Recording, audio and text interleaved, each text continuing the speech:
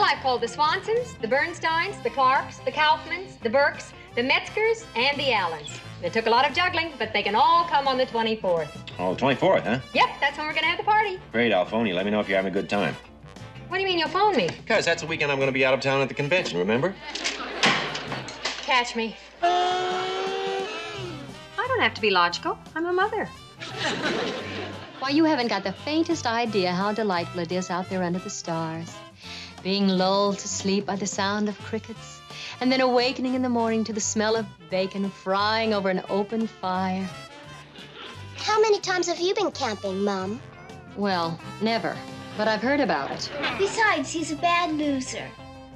It seems to me that you're a bad winner. You know, you shouldn't put down a loser, Cindy, because you might be one yourself someday. Just remember that. You got everything here? Well, I think so. They're, uh, six luncheon trays, uh, five comic books, four jigsaw puzzles, three magic tricks, two ice cream bars, and, And one one cowbell.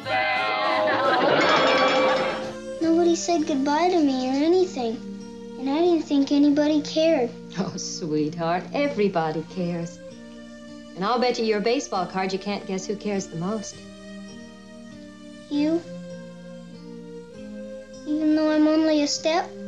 Listen, the only steps in this house are those the ones that lead up to your bedroom.